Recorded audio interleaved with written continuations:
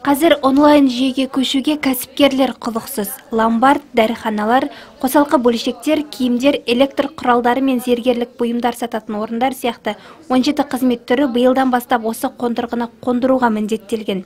Онлайн жүйесі арқылы кәсіпкердің әр қадамын бақылап түскен ақшаны сол кезде есеп алу міндеті тұр. Алайда табыс көзін жасырып қалғысы келетіндер жетерлік. Жаңа жүйенің тиімді тұстары көп бұған дейін бүкіл түбіртек жиналып бас есепшіге тапсырылатын еді. Қазір бұл істі ғаламтор жүйесі арқылы реттеуге болады дейді мамандар. Егер салық төлеушілер бірінші қаңтар 2020 жылға дейін мемлекеттік кірістер басқармасына режимін өзгерту туралы хабарлама бермеген жағдайда оларды мемлекеттік кірістер басқармасы автоматты түрде жалпыға бірдей режиміне көшіреді.